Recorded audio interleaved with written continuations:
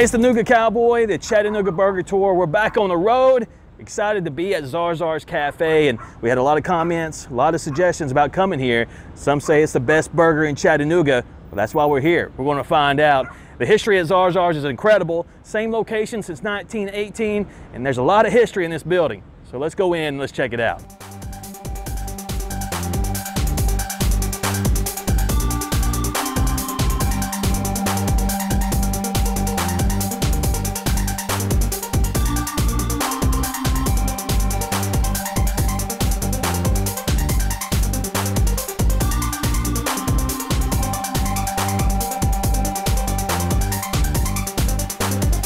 Hey, it's the Nooga Cowboy, the Chattanooga Burger Tour presented by Dr. Pepper.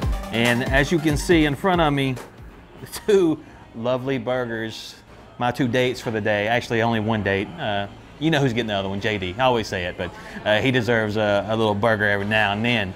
Uh, again, we're at Zarzour's Cafe. You know, we had so many people, so many people say that, what about Zarzour's? Have you been there yet? It's like, no, Zarzour's. I've heard of it, never been there. Well, that's why uh, we did come out, and the staff has been fantastic. Um, the food is, uh, from all accounts, you know, we've spoke to some people here, and they say it's it's really really good. And we talked about the history a little bit here since 1918, uh, locally, and uh, same location. So very important. Uh, the history here is, uh, I'm sure, we're going to talk with Dixie Fuller here a little bit later, and he's going to fill us in on some of the uh, the owners here, and uh, you know that family tree. It goes goes on down. So he's got a lot of cool things to tell us about uh, this location of Zarzour's.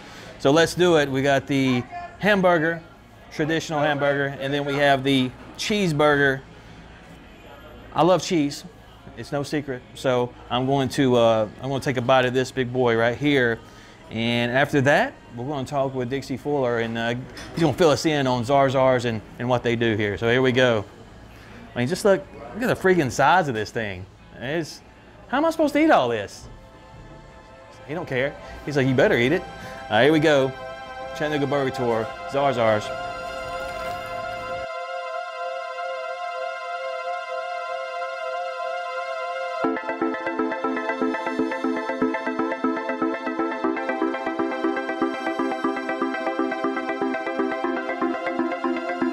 It was just walking in and seeing all of the old photographs on the walls, um, looking at the history of different parts of just life in Chattanooga or different parts, and just the small, intimate style of it. And the um, staff is excellent, con continuously walking by, asking if we're doing okay.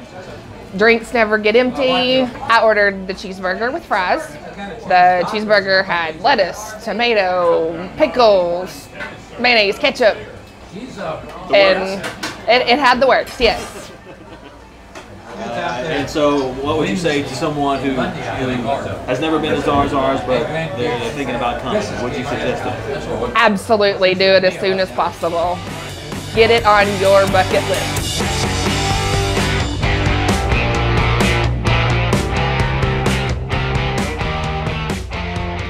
Welcome back to the Chattanooga Burger Tour presented by Dr. Pepper. And joining me, I have the owner of Zarzour's, Joe Dixie Fuller. Now, you might recognize that name because uh, he helps book the uh, musical acts for River Riverbend all over the place. He's a Chattanooga legend.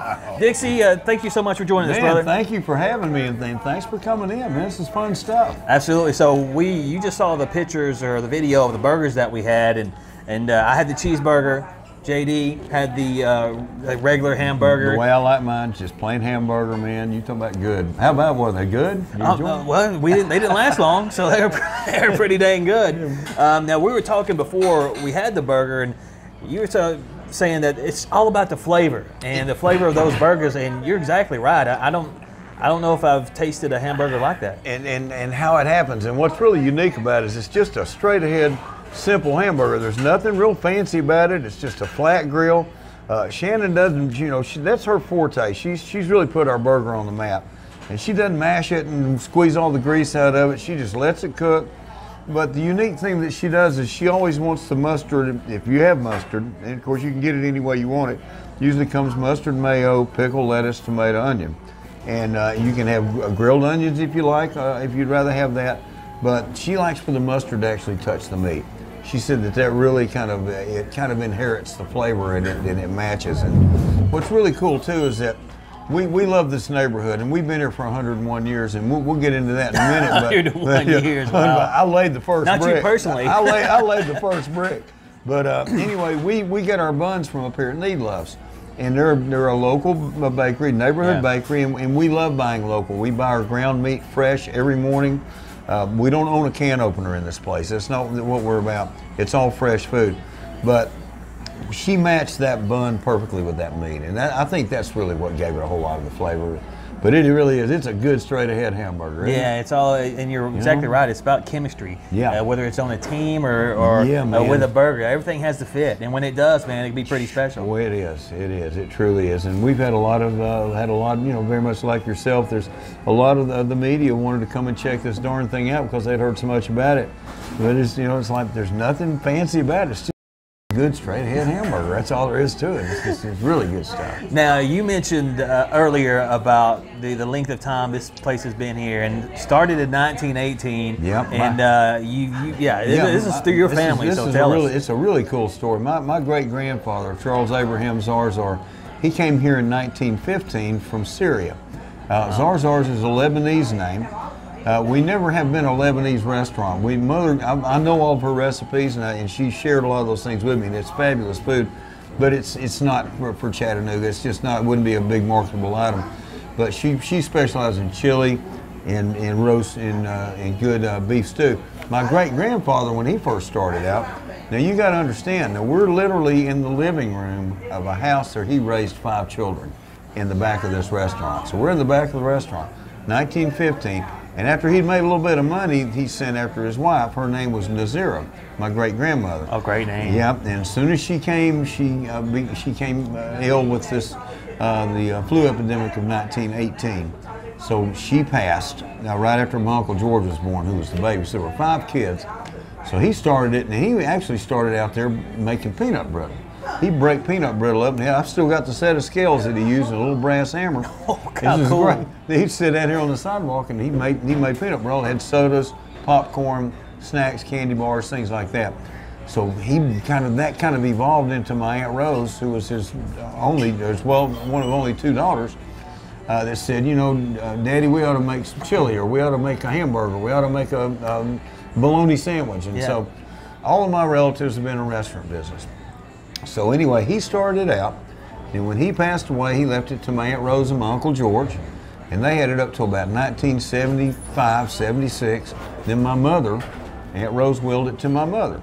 So my mother had it from 1976 till 2015, when she passed, and then my wife Shannon and I took it over, and, and we bought and we bought it from the estate at a very modest price, but but we were real happy with how that all came to be, and, and we want to keep this legend alive. We want to keep this icon living. It's like anybody can just say, well, you know, that was fun. That's the end of the ball game. We're done.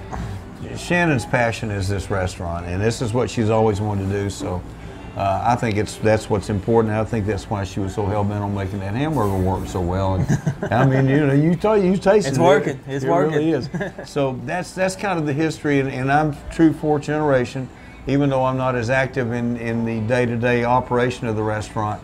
Uh, but we own it together, and we're just real proud to keep it alive and and come out with good quality food because you know we got Mary does all the, the vegetables and she does a beautiful job of that, and they're all fresh. And then Sherry's got her you know her heart's in it. She she cooks. She can run that grill. She can run the register. She can wait tables. She can wash dishes. I mean, we wear all the hats in here. But uh, it's just a fun little place. Now, you know, um, I love the sign on the wall that says, you know, Zarzour's with the insults are included in the price. you have no idea what Shannon's going to say or what's going to come out of her mouth up there. But it is a fun funny. place. And a lot of people come. We had a lot of repeat customers, and a lot of people know each other. And one of the really cool things about it is sometimes if you come in and we don't have a table for you, sometimes we'll just sit you with some people that you don't know. Well, hell, by the time lunch is over, you know everybody's name and you've made some friends. So it's it's kind of the it's the hamburger joint, with, kind of like Cheers. Yeah. Well, you, you mentioned that it's uh, you know first of all when you walk in you you understand and you see that it's a, a mom and pop shop type of restaurant. I love that. I love that feel to it. Yeah. And you know when, when you come in and you see that and then when you taste the burger, man, it's it's no it's no surprise to me that that you guys have, have been voted best burger by you know Southern Living, or Yes. you have so many repeat customers. I mean, Yes. you guys are doing it right. Yeah, we are, and you know, and I think, uh, and all that stuff comes from the heart. And I, and I agree with you. When you do come through the door and you see all the pictures on the wall, and you, and it's pretty simple, and and it's it's it's home cooking, and so therefore, home cooking is we've got a home, a regular residential stove, we've got residential refrigerators. We don't have a commercial walk-in cooler or Right. none of that stuff, which is even harder to keep alive because it eats the power and is brutal. The power bill is brutal in here. And it, you know, it's built in 1915 and a half, and so, you know, there's no insulation, so, you know, but so you got to stay on top of it. Uh, it's a labor of love. Right. And, you know, and, and we built a house next door here to the restaurant, which is cool, so I can literally kind of walk over here from the restaurant and, or from my house and I can do work at night, you know, and just kind of help do maintenance and kind of keep it up. Because you got a place 101 years old, stuff starts going bad. stuff starts turn, turning south on you. But no, it's a fun place. And we still get a 96 to 100 on our uh, health score. And Boom. that's very important to Shannon and it's paramount with Mary. Um, we don't have no dirty nothing in here. Right. We know we know how to. And people look at that stuff. Yes, they do, man. Yes, they, do. do, And, and, and, and that's a matter of pride with us. It really and truly is. It's a matter of pride with us because uh, nobody wants a bad health score. Right. So, and it takes work, man. You got to work at keeping the place up and keeping it clean and keeping it above standards. So, uh, but it's a fun place, man. I remember when I was a kid, I'd spend weekends here with my Aunt Rose and Uncle George. I was five or six, and I'd stay here, and, and she had a little. Uh, she had two divans that she would roll out, and then this was literally her living room and her bedroom at the same time. Of course, my Uncle George and my great my, my grandfather Abe Zarzour, they lived in the back. They had twin beds back there, but I remember a guy that used to push a tamale cart around here when I was a kid with a bell on it. And it was a tamale cart with an old black guy. And she goes, That's the best, Rose That's the best tamale.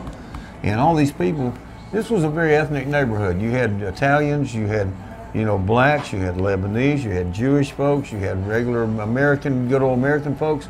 But everybody knew each other and everybody, you know, shared in the same values. And everybody back here on these houses, behind these shotgun houses, they all heated uh, with coal. And they didn't have uh, refrigerators. You had ice box. They had a guy come here, he had a big, big old block of ice. I remember him getting that big old hook and that old donkey pulling that foot buckboard back there. And I was just a kid, so what an impression that made on me for me to remember that the way that I do. So yeah, I've seen some history here, man. It's, and I've seen this whole neighborhood go extremely down and low. Yeah. You know, it was a crack district for a while, and then there were prostitutes and stuff. But we were we knew that eventually that the South Side would, would come back. and Boy, this- it's- the- it's the, coming the city would move this. So it's an arts district now. It's it's real safe. There's people pushing baby carriages. There's people walking their dogs, and uh, it's a good neighborhood and it's fun. We got the big fire hall across the street, but there's plenty of other restaurants too. And and I love that. I think the best thing for any restaurant is, is competition. And so um, we're only open for lunch, which is kind of unique. We're, we're only 11 to 2, Monday through Friday. So uh, you do private parties, from what I Yep, we'll do some private parties. We, we don't do much out of this restaurant catering. We just don't feel like we can show you the true Right. uh, depiction of what we're doing here. And so we'd rather people come here when we comes off our grill fresh. I don't want to package a bunch of it up and carry it up to Blue Cross or carry it out to Yeah. Chickamauga Dam where everybody's going. I think it just it takes the food and it it, it degrades it. I think somewhat. So you're on social media, Facebook. Yeah, on Facebook, Shannon. I think Shannon's uh, Zarzour's. It's Yeah. Zarzour's Cafe. There was one that was that was there were two of them, and I think Shannon quelled one of them. But just look for Zarzour's, you'll find it. And we're all over Google. You know, Google Zarzour's Cafe, and it'll give you a little bit more about the history. There's some videos there too, and and now yours will be involved in it, and and uh, and it's just a really cool, fun place to go. Like I say, Monday through Friday. We are closed on Sunday, but we on Sunday, Shannon and I, we come in, we make chicken and dumplings, and I make homemade uh, homemade peach ice cream. I just need to come in on Sundays then. Yes, or, or on the Sunday night or Monday morning. Sunday night, if you come by, you'll get to see the, how it's all made. But uh, it is. It's it's just a fun place, and we're damn proud of it. We really are. So uh, the most important thing, tell people where you're located so they can come out and enjoy this uh, fantastic uh, restaurant and that fantastic burger. You bet. We're located in the heart of the Southside District at 1627 Rossville Avenue. The best way to find us is we're right behind the new fire hall, fire hall number one, and right next door to the church on Main. And we have free parking in the back, right behind the house. With a walk through, you can walk through what we call the Zadio, which is part, Yeah, the which is Zadio. the Zadio attached to Zarzours. And uh, but anyway, um, and uh, we if you have a hard time finding a place park, we'll find you a place to park. But there's always uh, there's always a seat for you here at Zarzours. 11 to 2, Monday through Friday. Uh, a big thank you to Zarzour Shannon, uh, the whole staff here. I mean, they've been super, uh, super nice, and uh, they've they've put up with us for almost two hours Oh, man, now. That's so great. We're glad you guys came in. Big thank you, Joe Dixie Fuller. Oh, man, thank you so thanks. much, I brother. appreciate it, buddy. It's Thank been. A, it's been a blast, and Zarzour's no doubt one of the best burgers in Chattanooga. So make sure you get out here and check it out. Until next time, I'm the Nooga Cowboy. He's JD. Joe Dixie, Shannon. This is the Chattanooga Burger Tour presented by Dr. Pepper.